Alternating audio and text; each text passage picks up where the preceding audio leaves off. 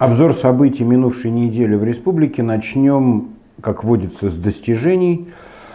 И достижений этих я отмечаю два за минувшую неделю. Первое – это то, что Республика Башкортостан заняла почетное первое место в Российской Федерации по количеству уголовных дел о взятках, переданных в суд. Об этом сообщил широкой общественности никто иной, как э, руководитель Следственного комитета по Республике Башкортостан Денис Чернятьев. В том числе а, в суд переданы были дела а, чиновников Уфимской мэрии, мэрии Ульфата Мустафина, которые уже давным-давно там, значит, сидят все под арестами и ждут суда. Речь идет о двух деятелях, связанных с имуществом города, которые там, так или иначе манипулируя всевозможными процессами, э, предоставили незаконную возможность для строительства гостиницы в Октябрьском районе. Но это только один случай.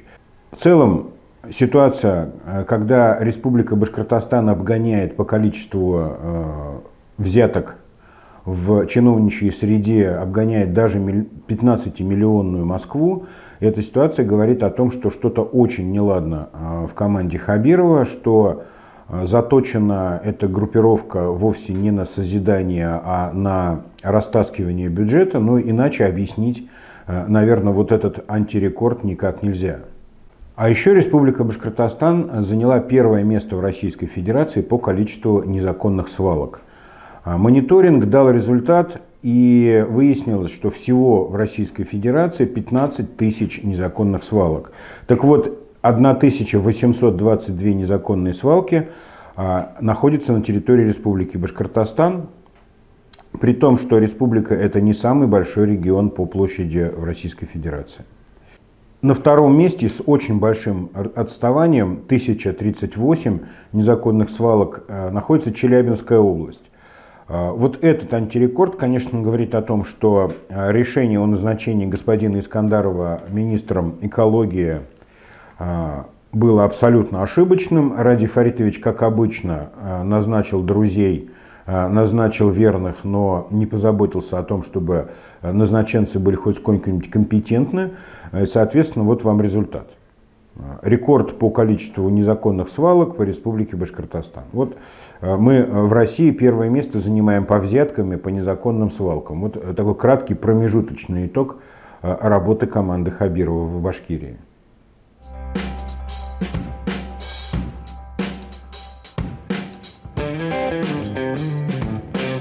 Напоминаю о необходимости поддержки нашего канала. Ставьте лайки, это помогает продвижению в ротации YouTube. А, желающие могут помочь нашему каналу материально. Мы а, показываем расчетный счет в каждом выпуске и публикуем его в первом комментарии. А также обращаю ваше внимание на то, что наш телеграм-канал продолжает успешно развиваться. Э, предлагаю и вам к нему подключиться. Там не только материалы открытой политики, там и интересные дискуссии, какие-то э, события недели, которые обновляются ежедневно. Так что подключайтесь, будем вместе, не теряемся, несмотря на то, что мы теряем все больше и больше социальных сетей, социальных связей, уходим в какую-то внутреннюю изоляцию, э, ощущаем давление государства, но э, как-то пока выкручиваемся. Так что телеграм-канал для нас это некий э, тоже сейчас вариант общения, подключайтесь, будем вместе.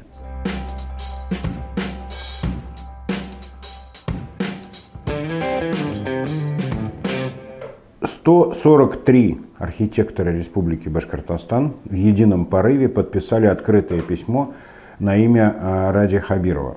Я, честно говоря, а, поражен подобной сплоченности людей в одном цеху. А, редко в последнее время можно было наблюдать вот такое единение людей по профессиональному признаку. Собственно, о чем письмо? Письмо архитекторы написали, а, будучи возмущенными планами властей построить на склоне у реки Белой в районе а, Белого дома а, вот эту ту самую евразийскую библиотеку. И письмо это было написано после того, как был продемонстрирован некий эскиз, который представлял из себя э, дичайшую смесь Колизея и юрты – Э, в общем, 143 э, разума архитекторов взорвались в этот момент, и они стали писать э, Хабирову письмо. Требуют они проведения открытого, серьезного, настоящего большого конкурса, который, как и положено проводится при создании подобных проектов, они пользуются вот этим воспаленным сознанием и эстетическими представлениями о прекрасном э, какого-нибудь Сидякина, Барданова или, не дай бог, Кельсинбаева. Не знаю, услышит ли Хабиров э, мольбы архитекторов республики. И вообще вот этот проект по поводу Евразийской библиотеки, он, честно говоря, скорее всего не состоится ни в каком виде. И не потому, что у Хабирова вдруг э, воспрянет архитектурное сознание и совесть, нет, а скорее всего потому, что а просто тупо в бюджете на эту э, затею не будет денег. Сейчас секвестируются все мыслимые и немыслимые статьи расходов в связи с событиями на Украине и с последствиями этих событий для экономики Российской Федерации. Так что уже не до евразийских библиотек, не до баловства и не до этих вот э, распильных проектов Сизякина.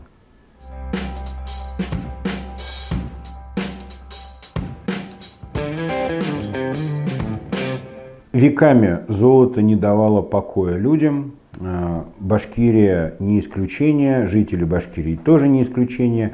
Все мы люди, все мы слабые, и золото будоражит наше сознание. Я говорю о золоте Зауралья, которое вот уже третий год не дает покоя Радию Хабирову и его а, команде.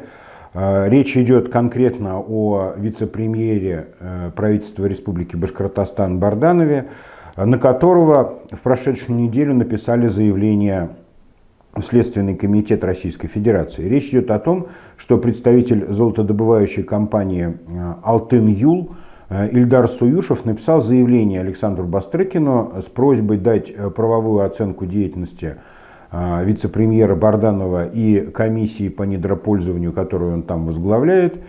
Суюшев предполагает, что действия этой комиссии и лично вице-премьера Барданова э, привели к эскалации экологического конфликта в регионе и препятствуют законным э, правам предпринимателей на э, недропользование. Ну, это предположение господина Суюшева, и Следственный комитет тут сейчас будет в этом деле разбираться. Но, судя по недавнему докладу господина Барданова в правительстве, доклад о деятельности вот этой межправительственной комиссии по недропользованию, которая шуровала в Зауралье и была призвана навести порядок с золотодобычей и вообще добычей полезных ископаемых, вся эта деятельность свелась к отъему лицензии у определенных компаний и передаче этих лицензий другим компаниям. Ну, э, не буду давать преждевременных оценок, пускай Бастрыкин этим занимается, однако э, складывается впечатление, что здесь вовсе речь идет не об оптимизации э, процессов, а только о перекладывании из одного кармана в другой. Действительно, в Заурале не все в порядке с э, недропользованием. Так было всегда и давно, так было от Петра Первого. Но э, навести порядок в этой области должен точно не Азат Барданов, который, э, ну, как выяснилось и как теперь уже, наверное, понятно всем здравомыслящим людям, не способен абсолютно ни на что. Человек слабо образованный, психологически не готовый к такому объему власти, который ему а, достался и по отзывам а, очевидцев, э, ведущий совершенно, совершенно неправильный образ жизни и абсолютно неправильно ведущий себя с подчиненными и начальством. В общем, а, это очередное деструктивное назначение в кадровой сфере у Хабирова, и чем скорее он исправит эту ошибку, тем быстрее что-то будет меняться к лучшему, потому что вот люди, подобные Азаду, Азату Бадранову, они э, тащат на дно и без того Э, плохо плавающую э, команду Хабирова, так что вот надо бы, пора бы об этом задуматься.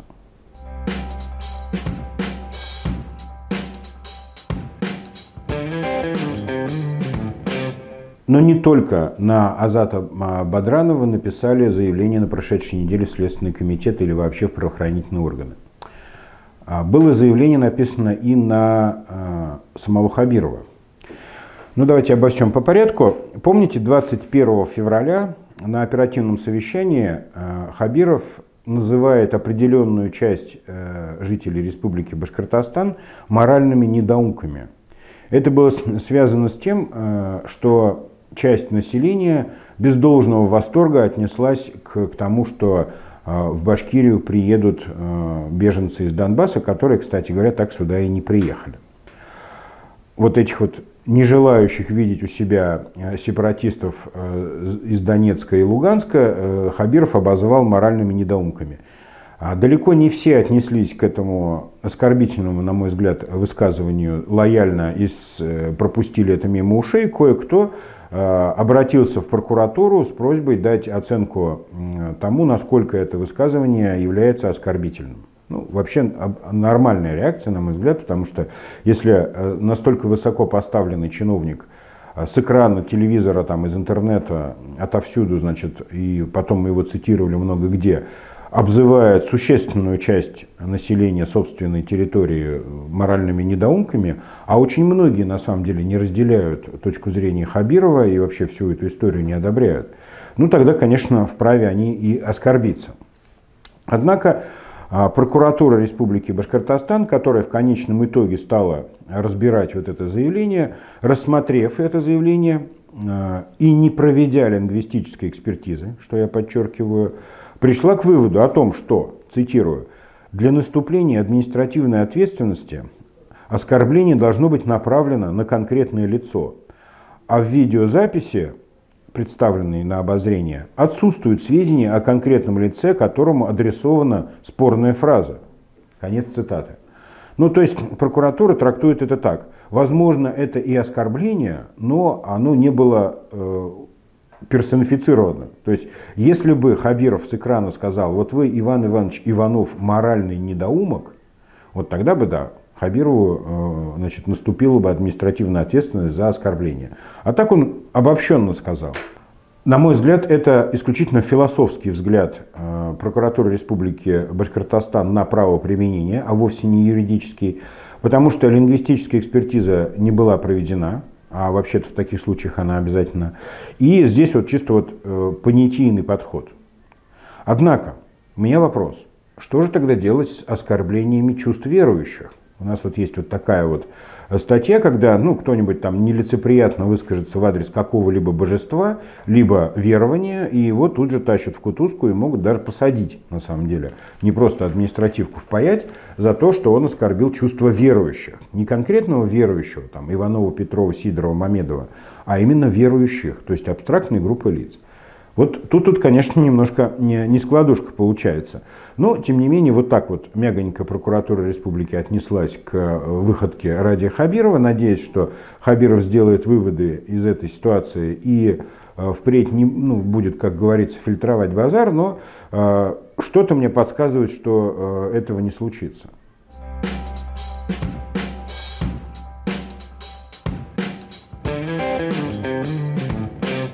Неоднозначную реакцию вызвал э, перформанс Ратмира Мавлеева на прошедшей неделе, когда он э, поехал на работу на велосипеде. С одной стороны, что тут такого плохого? Да, конечно, идея не новая и не свежа. Э, и многие европейские политики ездят на работу на велосипеде, и об этом много пишут в прессе. Это, конечно, пиар-ход. Иначе характеризовать эту всю историю, конечно, нельзя. Пиар-ход такой, прям скажем, не свеженький. Ну ладно. Но э, меня рассмешила реакция э, жителей Уфы, которые много-много-много где увидели вот эту вот историю, как Мавлиев едет на велике на работу. И самым главным и основной реакцией э, у зрителей и у жителей было то, что они обратили внимание на нарушение правил дорожного движения. То есть не на то, что э, там молодой энергичный мэр едет с гармошкой на велосипеде на работу, в отличие от своих коллег, которые едут на черных джипах, а вот именно нарушение правил дорожного движения. В частности, э, все поголовно отметили, что Мавлиев не слез с велосипеда на пешеходном переходе, как это предписывают правила дорожного движения, а переехал этот пешеходный переход на велосипеде. Честно говоря, я, ну, велосипедист со стажем, даже я не знал о том, что так нужно делать. В общем-то, будем снисходительны э, к юному мэру Уфы не будем так уж вот прям строго судить. И в конце концов, э, перформанс с велосипедом куда круче, чем перформанс с пловом или еще какой-нибудь жрачкой, который нам регулярно являет э, дорогой Ради Фаритович.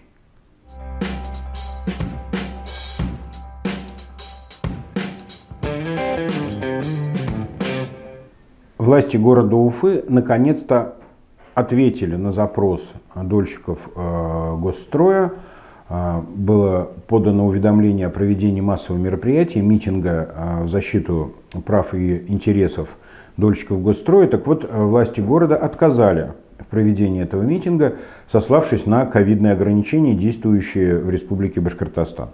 Как это может коррелироваться с недавно проведенным 30-тысячным митингом в поддержку Путина и э, всего того, что Путин творит на Украине, я не понимаю. Ну, есть, конечно, такое антинаучное предположение, что выявлено, выявлен феномен резистивности патриотов к вирусам, то есть, если ты патриот, то ты э, не заражаешься и не заражаешь вирусом себе подобных и можешь собираться в крупные сообщества до 30 тысяч человек на одном э, пространстве и тесно-тесно там стоять и слушать э, каких-нибудь певцов ртом, Юль Якшиных и прочих подобных им. А если ты не патриот, например, если ты обманутый дольщик, то, конечно, для тебя это страшная жуткая угроза, и государство обязано позаботиться о тебе, не допустив Э, митинга и прочего массового мероприятия, связанного, например, там, с интересами дольщиков. Но только вот подобной логикой можно объяснить и минувший вот этот вот Z-митинг, и грядущий, который на скором времени пройдет снова, а по России катится волна вот этих вот э, Z-мероприятий, э, на которые опять будут собирать бюджетников и работников УНПО. В общем,